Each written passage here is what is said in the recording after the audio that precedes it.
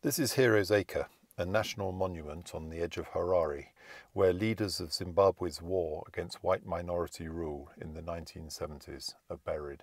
And this is the grave of Sally Mugabe, Robert Mugabe's first wife, who died of kidney failure in 1992.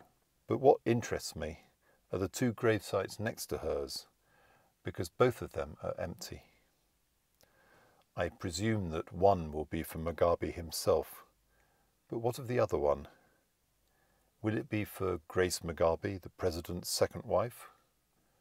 Or for Emmerson Mnangagwa, Zimbabwe's vice president and the man who's been Mugabe's brutal enforcer through the 36 years of his rule?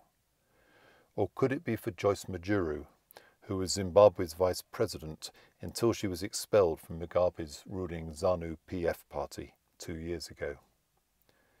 Joice Mujuru now leads an opposition party, but she would have a claim to the gravesite because buried right here is her husband, Solomon Mujuru, another lifelong Mugabe ally until he fell out of favour and was mysteriously murdered in 2011.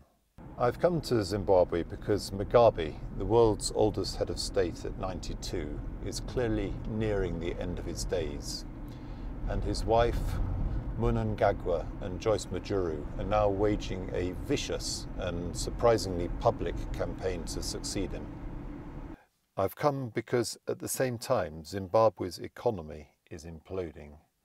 Its industrial base is collapsing, factories are closing, the country is quite literally running out of money.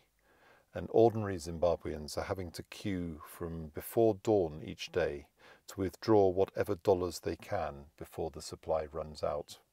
I've come because ordinary Zimbabweans are beginning for the first time to fight back. They are using social media to harness the public's anger.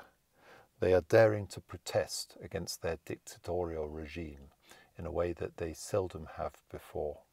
For several years now, Zimbabwe has been eclipsed by momentous events elsewhere in the world. But one way or another, sooner rather than later, I suspect it's going to be back in the spotlight.